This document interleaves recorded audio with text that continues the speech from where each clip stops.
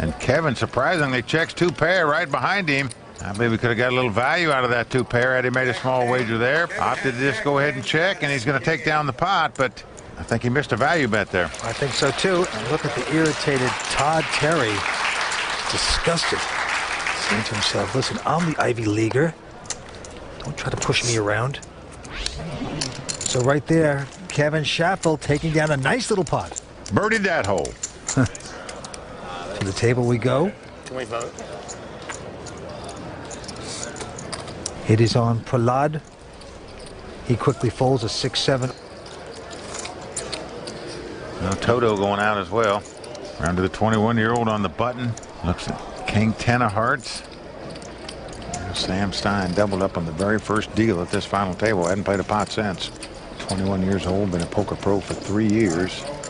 He's played a lot of online poker in his day, that's for sure. Going to raise it here to 75,000.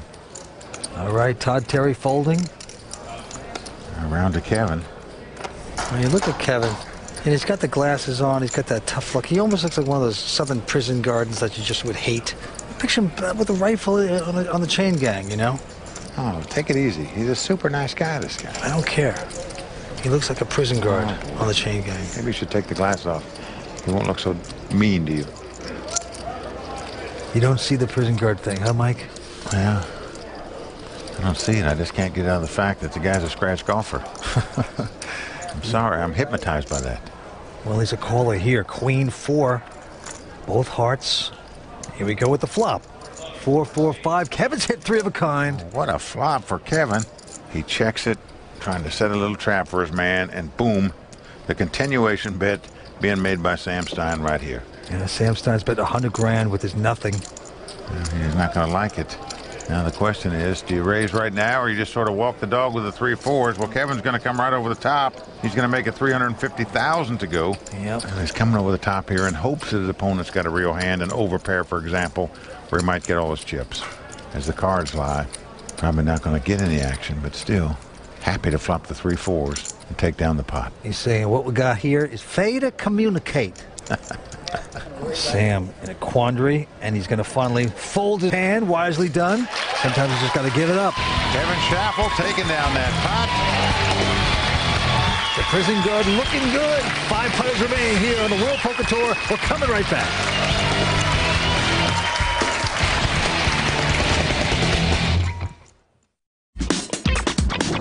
We enjoy uh, having people from all over the world come to Legends of Poker and be part of the World Poker Tour Championship. The prize pool for this event is going to be over $2.6 million, and we're extremely excited about that. The best tournaments in the world are held at the Bicycle Casino.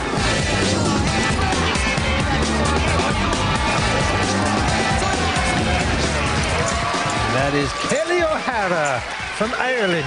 I think she played a big part in Gone with the Wind, I believe. Oh, Benny. Players do love it here at the bike, and some great champions have become Legends of Poker winners, no question about that. Former world champions Dan Harrington, the famous Doyle Brunson won here. One of these guys looking to add their name to that list of legends. Look at the chip leaderboard. Kevin Schaffel right now out in front with 3.2 million. And what you see there is a graphic of how many percent of chips that each player has. So with five players left, if you've got 20% of the chips, you know you're in average chip position. If you've got more than that, you're above average. And of course, if you've got less, you're below average. So you know where you stand when you see that percentage. All right, action on Toto, former casino employee, now poker player, quickly folding his hand. The young 21-year-old Sam Stein out. And the math guy from Harvard, he's out as well. So once again, we've got a battle of the blinds. Action on Kevin Schaffel. Yep, the chip leader at this point. He's got a queen nine off suit. Uh-oh, well, the dog comes down, and that means that Kevin is barking. Yep, he's going to raise it, makes it 75,000 to go. Every time Kevin plays a pot, he puts that little dog on his cards. But right behind him, Prahlad has picked up two eights in the big blind. Too bad. Let's see how he's going to play it. Most people will just come over the top right here. But not the hippy dippy. He's going to call it. Well, he's up against the chip leader, so you tread water a little more cautiously in those situations. Here's the flop. Oh, what a flop for Prahlad. It's come Jack a three. He's flopped a set. He's got three eights. Kevin with the gut shot straight draw is going to make the continuation bet of a hundred thousand. This is what you play for. If you're Prahlad, you hit three of a kind. You're a vegetarian. It's like you're seeing a giant organic vegetable garden before your very eyes. Well, just a moment ago, we saw Kevin flop a set of fours. He opted to raise in this position. His opponent got out. But notice Prahlad is just calling here. He's going to walk the dog, as we say. Wants to let Kevin continue to take the lead and hopefully continue to fire at the pot. Offsuit deuce comes off. No help to anybody. A good nothing card if you're Prahlad.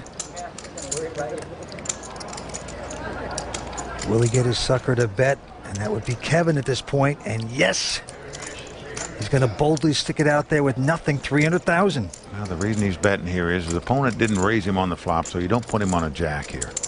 So you're making a continuation bet yet again in hopes that he might have middle pair and just get out. As it is, he's got middle set. He's not going anywhere. Just trying to figure out what to bet to continue to get Kevin to play this pot and extract more chips from him. 600. Oh, no, he's going to pop it back. He's going to make it the minimum raise, too, a $300,000 raise. That is scary. Let me see what you have. Oh, boy. The prison guard now trying to act strong. Saying how much more you got. He's sickened. If he raises it here, the inmate's going to turn on him, Vince. I can tell you that. Oh, This would not be a good time to make a move for Kevin Schaffel. boy, I never liked your kind. Yep, I'll tell you. He's going to try to make Prahlad do a little more hard time here. But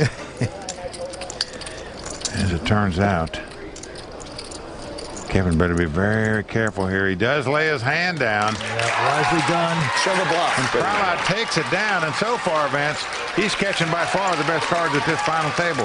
Ace King, two kings, flop three eights. The Malibu man on the move right now. A big dent there for our chip leader. Five players remaining going after this title. We'll be back for more on the World Poker Tour.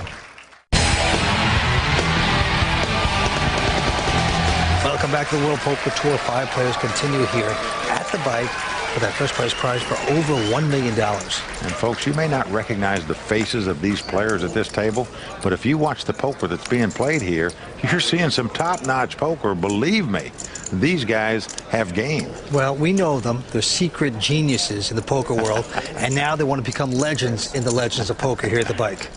Well, one of them's going to become a legend, a legend champion, to go along with the lights of guys like Doyle Brunson who won this event. So certainly a lot on the line for these guys to say nothing of the million-dollar first-place prize. All right, to the felt we go. Sam Stein quickly folding his you have, hand. Todd Terry from Hoboken, New Jersey, with a little wired pair of threes says, "How much you got there, Toto?" 300. That's 75. He's got about 5% of the 75 chips, not very much. Yeah. Pick on the dog when he's down. How about that? It's Toto Leonidas, normally a very aggressive poker player when he plays in the cash games, but here at the tournament, when you're on a short stack like this, you just got to wait for a hand and get your chips in there. It's on Todd Terry, one of those guys who got two first names. He's also got a law degree and graduated from Harvard with an applied mathematics degree. So this guy definitely one of the smarter poker players out there.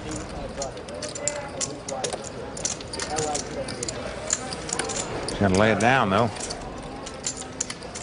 Todd Terry laying down the small pair. And Kevin Schaffel with his favorite hand, Jack 10. And he bet 75,000 on the button. Prahlad going out. And Toto in the big blind has a king queen. Well, he's been waiting for a hand to get his chips in with, Vince. I believe this is the one he's going to go with.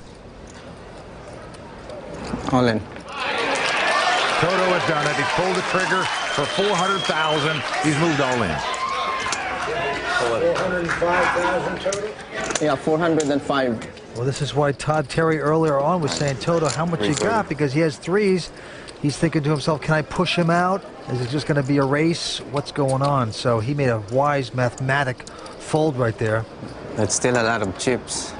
Well, Kevin Schaffel is the chip leader. He can well afford to make this call. I know. It's going to cost him another 330,000 to do so. But you have to play two scenarios in your mind. Number one, do you really want to double up a tough player like Toto? But number two, you've got chips to gamble with. If you get lucky, win the pot, you can eliminate another player. And number three, he's got prison duties to do. Well, he gives Toto respect. He lays his hand down. So Toto Leonidas, top-notch pro player, taking down his first pot at this final table. He talked me out of it. A lot of chips. It's amazing how when you win a pot, Vince, when you're on a short stack, you start smiling and laughing. Toto Leonidas taking his first pot here on. tonight. I don't bluff, guys. Well, he's a former casino employee. He used to be a bartender and a food server at the casinos, but he's also a great player, a lot of experience, and Toto shows it there. Well, Vince, you got to admire guys that worked in casinos as bartenders and waiters and now playing big cash games like Toto does. Plays in the, a lot of events out here on the World Poker Tour. Good to see him at a final table. Yeah, going after over a million dollars here tonight. Cards are being dealt once again, and the blinds are going up to 20 and 40 now. Action going to the man from Malibu, Prahlad Friedman. Down the Jack 5 offsuit and folds. Yep, and now Toto also going out. Sam Stein, the 21-year-old, also out. And now we're back around to Todd Terry. And once again, it's a battle of the blinds. We've seen a lot of that so far at this final table.